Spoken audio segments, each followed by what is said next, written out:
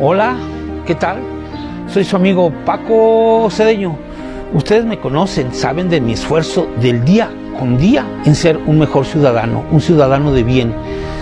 Pues bueno, y contribuir en medida de mis posibilidades a hacer de un Cuautla una mejor ciudad. Soy perseverante en alcanzar mis objetivos y mi próximo objetivo es que juntos convirtamos la denuncia social en una gestión social desde este Congreso del Estado.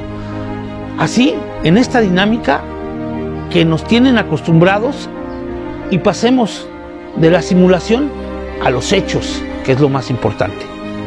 Hoy tengo la oportunidad que me brinda el PT, Partido del Trabajo, ¿sí? a ser precisamente candidato a una diputación local por el séptimo distrito, que es y corresponde al municipio de Cuautla.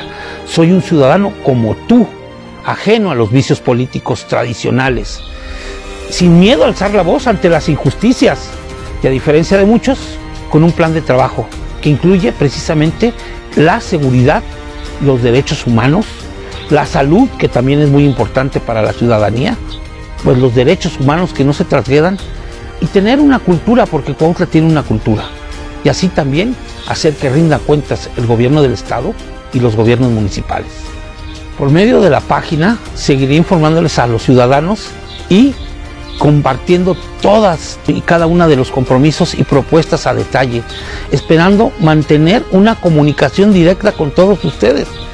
Recientemente, sí, recibí un atentado contra mi persona, que eso me mantiene definitivamente en un confinamiento en el cual me ha sido de verdad molesto, pero también a través de las redes sociales agradeceré sus mensajes de aliento y de apoyo.